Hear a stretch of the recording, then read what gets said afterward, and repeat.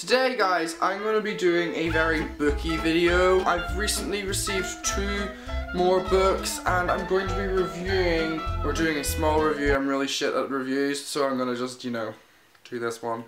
But today I'm going to be reviewing Fangirl by Rainbow Rowell. Yay! It took me mm, about 13 days to finish this book. Um, I've seen a lot of people say they finished it in a weekend, which kind of makes me feel pathetic because, um, you know, it took me 13 days, which is like two weekends and whatever, I'm not good at math. Basically, Fangirl is a very, very, very like coming of age story about a girl who also has a twin sister who both go off to university Um, and she's just, yeah, I'm gonna try and go into deeper detail now.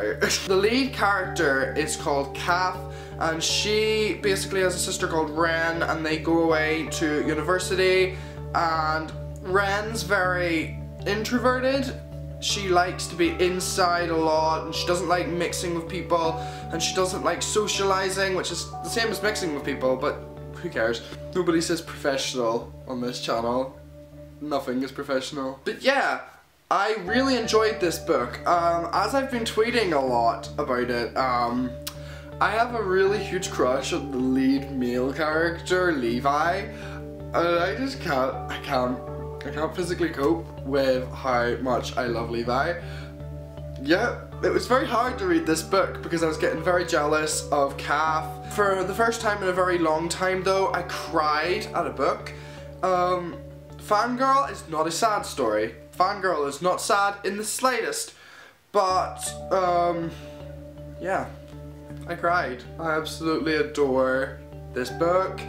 Um, I did do like a mini review of it in Goodreads, so if you want to see a review on it, go to Goodreads and you'll be able to catch up on the whole thing. But really, I just wanted to mention this and that I'm going to give it five My Little Ponies.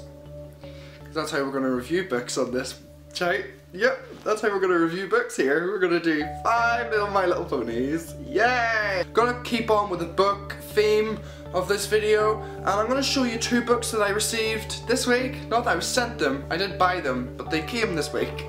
This first book is called Since You've Been Gone by Morgan Matson. I have seen it be recommended a lot by YouTubers on here that read books, booktubers. Got your backs girls and boys. They've all been reviewing this and saying that it's amazing. Basically, it's a girl whose best friend disappears without a trace, and but she leaves her like a list of things to do. And what's that? Mm, sorry, I got sucked into it. But yes, this is a must read for me. It's quite thick, actually. Well, not thick, thick, but it's thick for me. But yeah, since you've been gone.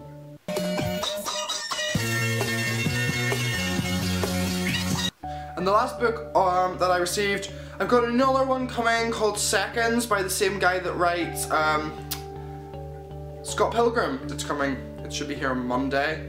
Um, should be here tomorrow because this goes up on Sunday. I've seen a lot of good reviews about it as well, so I ordered it last night, and that should be my books for another couple of months because I have a lot to read. But the last one that came in the post for me this week was Aristotle and Dante discover the secrets of the universe. I have seen so many people scream, shout, cry, die over this book and I'm so excited to um, finally read it. Um, I'm currently reading Eleanor and Park, so I have to wait until I finish Eleanor and Park to read this book, but I'm very excited. I've seen nothing but good reviews about this book. I've been talking to my best friend, well not my best friend, but my childhood best friend, um, Jasmine, about this book a lot because me and her have a book relationship and we love books and we just love talking about them to each other and she is so excited to get this book. Sorry Aristotle. Don't really think I have anything else to talk about this week, but yeah. Yeah, my brain's gone completely blank.